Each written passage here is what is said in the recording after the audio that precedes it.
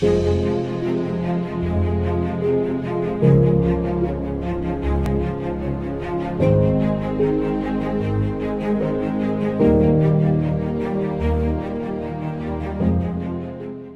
everyone. My name is Jerome Foster II. I am from Washington, D.C., in the United States, and I'm 18 years old.